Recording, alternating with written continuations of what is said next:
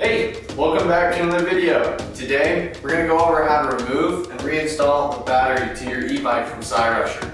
So this video applies to the 650, the 800, and 900 models from Cyrusher.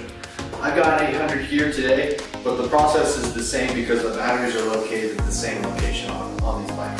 The only parts you will need for this video are the battery that goes to the key, and that is to unlock it to take it off the frame. The first thing you're gonna wanna do every single time that you go to take off the battery is to make sure that it is turned off. And how you check that is there's a red switch on the side of the battery here, on the right side, and there is a one and a zero. So if it is in the zero position, it is off. And if it is in the one position, the battery is on. So you wanna make sure that that is always turned off when you take your battery off. So the next step in taking your battery off is to make sure that this keyhole is in the unlocked position so that your battery can come off the frame. And the way you check that is you take your key and insert it into the keyhole and make sure it's turned to the left. So the way I like to remember is if it's all the way to the left, it's loose, so lefty loosey. And if it's all the way to the right, it's tight, so righty tighty.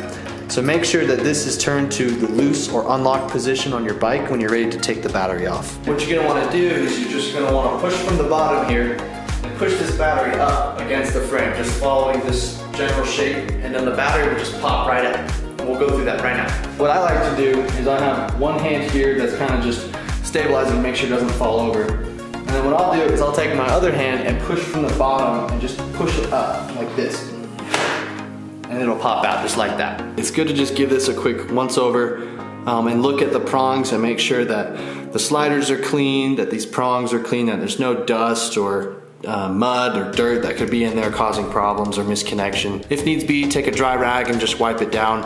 Um, and that also goes for your battery here. So you wanna make sure that these socket holes are clean um, and that the battery can slide and everything here just looks clean. Go ready to put it back on. And uh, essentially what you're just gonna do is reverse that process um, of taking the battery off.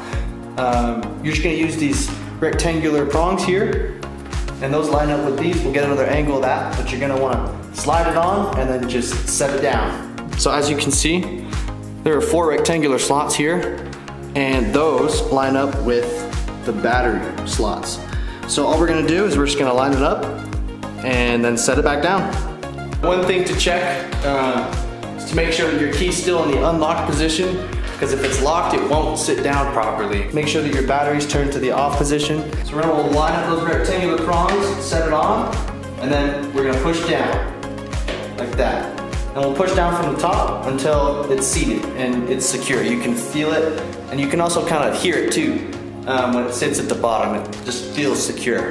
Now that you've got your battery seated all the way, uh, make sure to take your key and lock the battery in place. Um, I like to remove it after this so you don't lose your keys. Turn the battery on um, when you're ready to ride. If your battery is turned in the off position, it won't turn on and you won't be able to use the motor. That concludes our battery removal uh, and, and, installment for the 650, 800, and 900 models from Cyrusher.